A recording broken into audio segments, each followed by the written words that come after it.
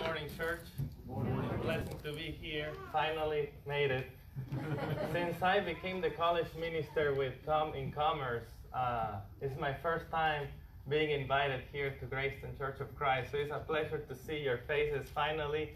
Uh, you've been great and faithful supporters, so we really uh, thank you for your support in all these years.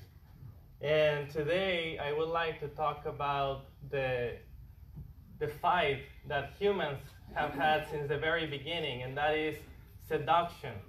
And we can we know that let's see that Adam and Eve, the first time that they encounter Satan and they uh, had a conversation with Satan, the first thing that came up is seduction. Satan seducing Eve and deceiving her. And seduction is not other thing that a mental coercive manipulation that brings us to the other side. So in this case, Eve, who was on God's side, became friends with Satan because he, she decided to uh, give in to what Satan offered instead of what God had to offer. God had to offer all this fruit and all these uh, vegetables that were in the tree in the Garden of Eden, but Satan only had one tree to offer, and that was the tree God said not to eat from, and that was the very the very tree that Eve and Adam decided to take in. So it's not we can see throughout the entire Bible that when seduction it's a very old friend or a very old enemy of humanity. An old friend if you decide to follow the world and Satan, an old enemy if you decide to follow Jesus. So uh, today I want to talk about someone who is not very popular in the church. We don't like him very much. His name is Herod. And Herod is a tetrarch. He is going to rule in, in parts of uh, Galilee. And he is the same guy that is going to approve uh, for Jesus to be hang on the cross, basically he made ties with Pilate. To they both agree that it's okay, it's not on us. His blood is not on our heads. He, if the religious leader want to crucify him, that's okay with us. So Herod is going to have a birthday, and we all like birthdays, right? I'm sure you've lived, you heard or met friends in the past that say, "No, I don't, I don't celebrate birthdays. Those, those are past traditions." I like to celebrate my children's birthday, and my, my my wife's birthday is coming up next week, and it's I think it's a fun time to celebrate and and be with family.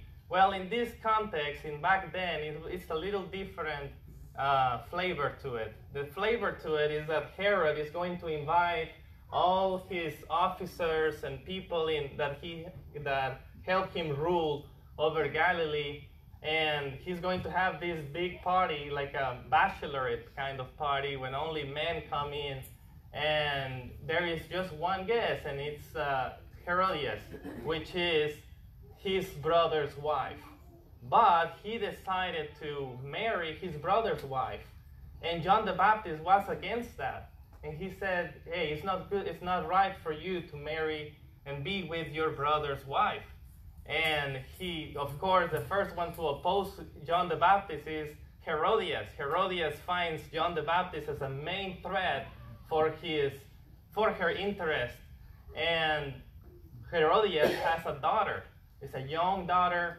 We don't know how beautiful she might be, but she's going to perform a dance during the birthday party and this birthday party is being witnessed by all these other men.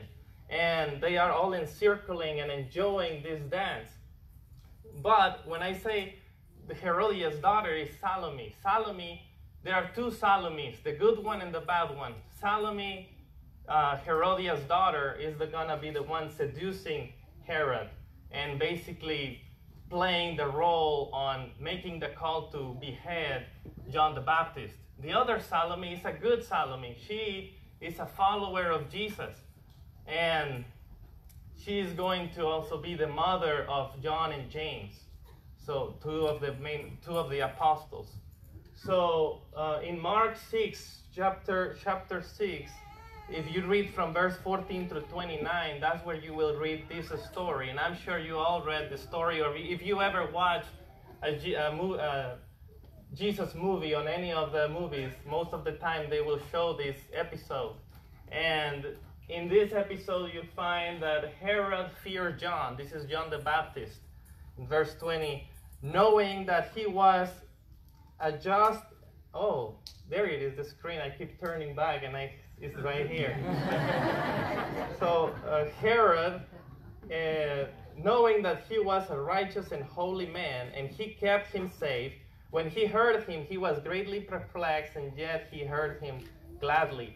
So we find one thing about Herod is that he he knows who John the Baptist is. He acknowledges that God is with him. He acknowledges that he is a man who fears God, that he comes from God. But at the same time, he doesn't like him that much. Why? Because John is calling him to repent from things that he liked, such as being with his brother's wife. So, one thing about Herod is that he has ears but could not hear, and he was a listener but not a doer. And that happens to all of us. Sometimes we like to antagonize Herod as someone who is so evil and so different from us. But if we really funnel down the root of his decisions, is that he had ears, just like all of us.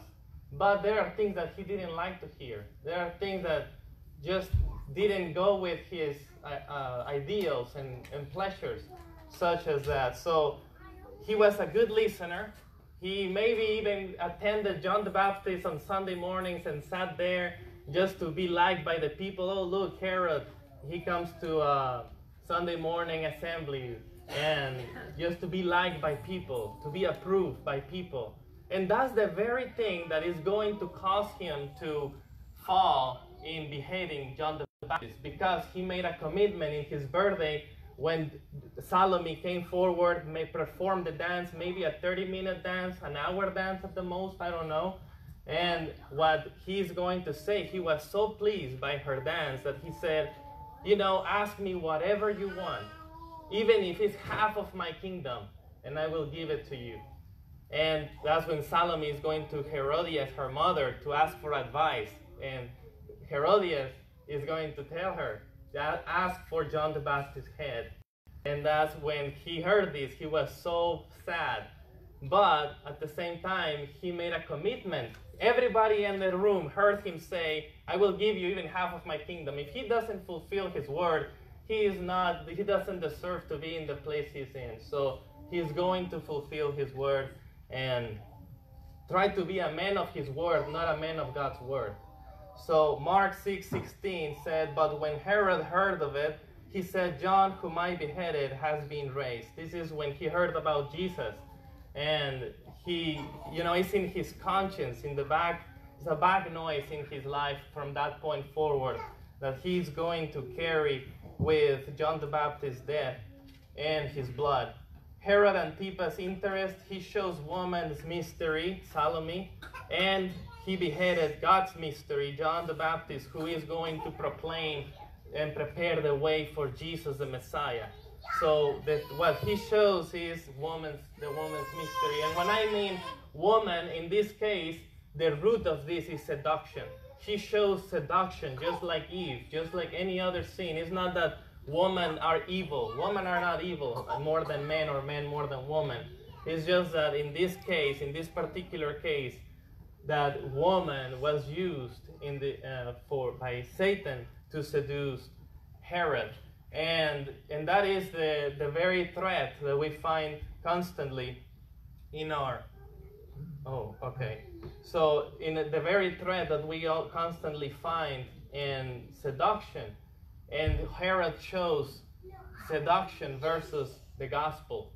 And John the Baptist, who was proclaiming Jesus the Messiah, and if you ever, uh, if you have ever been in um, in a TV or something, or you're aware of belly dancing, the part of the mystery there, and it's been a really long history for this dancing, is that there is always a veils throughout the entire body. There are veils covering parts of the body and then sometimes uncovering other parts of the body so that you are always lured and enticed by what is behind the veil. And it's always been very effective and in the way that humans and our flesh works. What is beyond there? You know, you are you have Eve in the Garden of Eden with all these trees, pears, apples, everything 100% organic, and and then you find this one tree that those you don't know where it's gonna lead you. God told you that you are going to die. That's the end. They don't. They didn't know about sin and the law and disobedience and all of that. They just knew if you eat of this tree, it means death. And it, they didn't care for how much they could explore. Even today, you have biologists. I work in, with college students, and they have books over books over books about biology. They could have dive into all the nature that God had placed in their midst, but no, they chose to go there where what is beyond that veil? What is beyond that, that tree of the knowledge of good and evil? I am curious, curiosity. And, and there you have it. And part of the mystery in God's word, there is also a mystery in, in the God's, God's side. The mystery is Jesus Christ. The mystery of the ages that the prophets didn't were trying to understand is who is this Messiah? Who is this servant and king? Who is this who is going to crucify but at the same time be ruled for eternity? Who is this? Who who who are we? We will love to know who is this Messiah. That's the mystery hidden for the by by so for so long and now revealed in this time through the gospel. So those veils that were in the Old Testament have been removed completely so that we could see that Jesus is the Messiah, Jesus is the Savior, Jesus is the one who can wash away our sins and give us a new life. Colossians 1 26 through 27, the mystery hidden for ages and generations, but now revealed by, to his saints. To them, God chose to make known how great among the Gentiles are the riches of the glory of this mystery which is Christ in you, the hope of glory. The mystery is not just that Christ is the Savior, but that Christ wants to be your Savior. That Christ wants to be inside of you, in you, and, to, and He wants you to have hope in this life. And imagine Herod didn't have any more hope beyond his kingdom. But John the Baptist, before he died, one thing he, he asked is, he sent his disciples to Jesus and said, Are you the one to come? Are you the one we're waiting for? He was almost about to die, and he knew that he has been preaching this message. You know that his ministry was only a six month old ministry. I've been in uh, full time of uh, ministry for since 2016. That's over seven, over seven years, and John the Baptist ministry was six months. That was that was uh, a very short ministry, and but it was a very loud ministry. He was in the in the Jordan River baptizing people, proclaiming, "This is the Lamb of God who takes away the sin of the world." So his ministry was short, but very but with so much content. And when he was when Jesus heard this question he performed so many miracles in the in the in the eyes of the, the John the Baptist with uh, disciples, and he said, "Go and go and tell John that the, the, the sick are healed, that the blind see, that the crippled walk, that the dead are being raised, that the poor at least hear good news." And they went back, and now he was satisfied because he knew that his hope in Christ Jesus was right. And now, after he was beheaded, he knew that was not the end. That was just the beginning of uh, eternity. So, Luke 23 11 to 12. And Herod, with his soldiers, treated him with contempt and mocked him. This is uh, Jesus.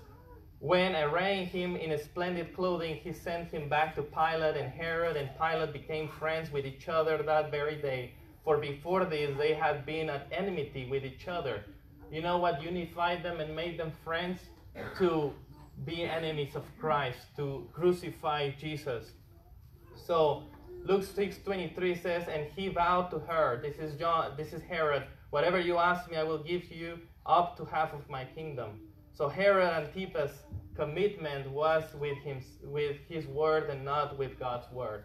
He turned away from God and Luke 6:26 and the king was exceedingly sorry but because of his oath and his guest he did not want to break his word to her. So another thing is he feared man. Herod feared man and but didn't fear God. He mocked God actually. We just read that that when Jesus was about to be crucified, he even mocked Jesus. So he mocked Jesus, but he feared man. And that's one of the things that we also face in this world. That man we can see, God we cannot see. And so many more times we fear what we see than what we can't see, right? But in as, as you know, the things that we can't see that can be even more threatening to the world than the things that we can see. How many people can see a gun in one building, but plus how many people in the world could see COVID? COVID, in a way, is invisible from just the normal sight, right? You needed some technology to see it, but it kills so many people in the world. So, of course, God is someone we can't see, but He has the power over our soul to either put it in heaven or in hell. So, God, of course, is uh, more powerful than man. His weaknesses are more powerful than the strengths of man. 1 Corinthians 1:18 For the word of the cross is folly to those who are perishing, but to those who are being saved, it is the power of God. You see, John uh, Herod, he's uh, used to have, having soldiers, people who are powerful, who show uh, fear, who show that they are capable of conquering kingdoms and so on. When he sees Jesus coming with you know, someone, uh, a king, but humble and not, uh, he didn't care much for the kingdoms of the world. Even there was a time when the people wanted to make him king, and he refused and went away from them. So Jesus didn't want to be a king, an earthly king. He didn't want to be a powerful uh, man on earth in the sense of conquering kingdoms. And there was one time one time, and this is the temptation in the Garden of Gethsemane, um, when he prays, Lord, may your, Father, may your will be done, not mine. But he prayed, let this cup pass from me. But the cup that he's referring to is the very time when the soldiers came to find him with Judah, and Judah gave him a kiss to spot him so that the soldiers can come and trap him he, he told Peter, Peter had a sword and he is about to use it. And he said, You don't know that I can even call, you know, a legion of angels, thousands of angels to come here and fight for me. This was an Armageddon, a, uh, a, a war. And that was the very moment that he was tempted to, uh, that was the cup that, that he was tempted to use. That is calling all these angels to fight for him, to use violence, to, to deliver him from, the, from death. But instead, he chose to die for us so that we can enjoy peace with him. So, how many times we give preference to the power of this world over the power of God? And we know Jesus declined the power of this world. When he, after he fasted for 40 days, Satan came to him and offer him kingdoms and offer him uh, power. And he turned them down because he knew that the power in glory in heaven with the Father is even more valuable. But again, it's always a matter of deciding between the seduction of the world and the gospel. And the world is constantly seducing us. Herod, with his soldiers, treated him with contempt and mocked him. So this is the part when he is going to crucify Jesus. In 622, for when Herodias' daughter came in and danced, she pleased Herod and his guests. And the king said to the girl, Ask me whatever you wish, and I will give it to you. So Herod's Antipas' pleasure, he gave himself to pleasure and abstained himself from God. So we find uh, a few uh, patterns of Herod, and that is that he feared man rather than God, that he uh, seek for fleshly pleasure, worldly pleasure rather than God. And the pleasure of the eyes had more power to move earthly powers than the words of truth coming from God. See, the, he, Herod, and the, and the political leaders, Pilate, they heard the words of Jesus. They heard the word of God, but that didn't turn them away from deciding godliness. But the words of the, what the, the pleasures of the eyes were even more powerful for these people in power than the words of God. So that's one thing that sometimes we get frustrated with people in power. We get frustrated with presidents and governors and, and people in power. But one thing I ask sometimes is if I see a dead bird, will I complain and get frustrated for that dead bird not to fly? Why will I get so upset with a dead bird because he's not flying? How can I expect someone who is in sin to fly? How can I expect someone who is in sin to behave Jesus like if they are not even with Jesus? Why will I get, I mean, it's okay to get frustrated with Herod, but the thing is, Herod is not in Christ. Herod is not following Christ. Herod is turning down the word of God. And the word of God teaches us in Romans 6:23 that he is dead. That the the debt of sin is uh, is death. That's what they owe and that's what they are. In they are dead in their sins, in their trespasses. And we were as well. Whenever we are not in Christ Jesus, we are dead. And we cannot expect a fleshly man to turn and do spiritual things. The spiritual things are, are this, for the spiritual person who has been resurrected in the waters of baptism and has received a new life and has been cleansed and now has the Spirit of God living in him or her. And now they are able to live according to God's word. The, mood, the veil has been removed.